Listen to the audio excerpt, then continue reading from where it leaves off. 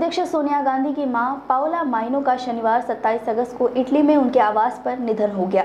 कांग्रेस महासचिव जयराम रमेश ने ट्वीट कर इसकी जानकारी दी। उन्होंने कहा कि पाओला को मंगलवार 31 अगस्त को अंतिम विदाई दी गई है।